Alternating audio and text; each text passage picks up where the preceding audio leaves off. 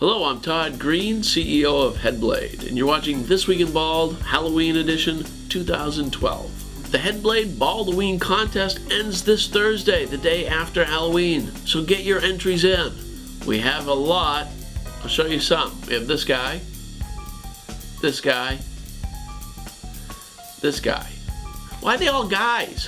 One winner will get an ATX starter kit, so get those entries in. UFC middleweight champion Anderson Silva is still looking for his next opponent after crushing the disturbingly hairy Stephan Bonnar. Stephan, please shave anywhere, anytime. Although a new contender hasn't been announced yet, I'm predicting another first round win for the Hairless Nation. Isn't that right, Dana? Marco Su- Su- Scutaro, your team just won the World Series. Don't you think it's about time you took your head to the promised land too? In movie news, it's been a big year for actor Bruce Willis, who shot sequels to G.I. Joe, Die Hard, and Red. No word yet on whether he'll reprise his most coveted role as a guy who used to sleep with Demi Moore. Democrat political consultant James Carville and his wife, Republican political consultant Mary Matalin, recently released their bipartisan cocktail party tips for election night.